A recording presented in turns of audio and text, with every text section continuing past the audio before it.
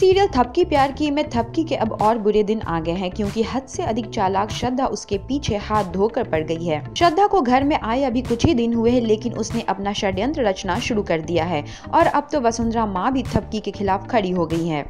आने वाले एपिसोड में आप देखेंगे कि बिहान की माँ थपकी की आवाज़ हमेशा के लिए बंद करने के लिए उसे पान के अंदर सिंदूर डालकर खिला देगी। टेलीविज़न के मोर अपडेट्स के लिए देखते रहे हमारा चैनल।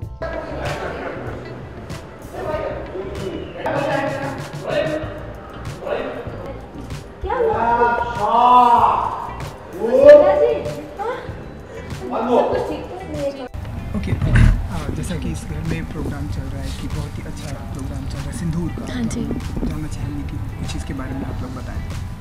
ये एक्चुअली शादी के बाद क्योंकि ध्रुव और श्रद्धा की शादी हो गई है तो एक सिंदूर पूजन नाम का चीज़ है जिसमें अ, सारी सुहागनी एक सिंदूर है पूजा किया हुआ जो कि लगाएँगी. और उसी सिंदूर के बीच में वो सिंदूर एक्चुअली एक पान में होता है वो पान घूम रहा है। या और वो किसकी प्लानिंग है? आई थिंक उसके लिए आपको देखना पड़ेगा थपकी प्यार की और इसी बीच ये जो पूजा हुई है इसमें आस पड़ोसी के सारे पड़ोस के लोग आए हैं सारे लोग और माँ ने मुझे ये रिस्पॉन्सिबिलिटी दी है कि तुम पाठ करोगे उन सब के सामने। और as I I stammer in the show तो मेरे लिए बहुत मुश्किल है ये चीज़ करना तो मैं इतना वर्ड हूँ मैं पूरी रात प्रैक्टिस करते हुए आ रही हूँ अभी भी मैं बैठी हूँ तो मैं मम्बलिंग कर रही हूँ कि मुझे मुझसे ऐसी कोई गलती ना हो कि सारे बाहर वाले लोगों के सामने एक बार और वो उंगली उठा सके मेरी वजह से घर वालों के सामने।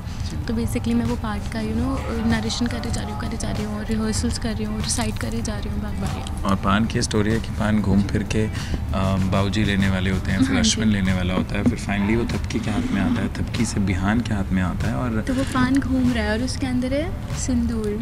जिससे आवाज़ जा सकती है जो भी उस पान को खाएगा। और फाइनली वो पान ध्रुव खा लेता है और बहुत ही ज़्यादा खांसने लगता है पानी पीता है। तो अब देखना यह है कि वो उस पान को खाने से एक्चुअल में होता क्या है। या तो क्या होने वाला होगा ये तो पान के पान खाने के बाद से क्या होने वाला जी ऑनेस्टली अभी तो हमने इतना ही शूट किया है कि वो पान खा लिया गया है। और उसके बाद क्या होगा वो तो हम भी नहीं बता सकेंगे। उसके लिए आपको देखना पड़ेगा प्यार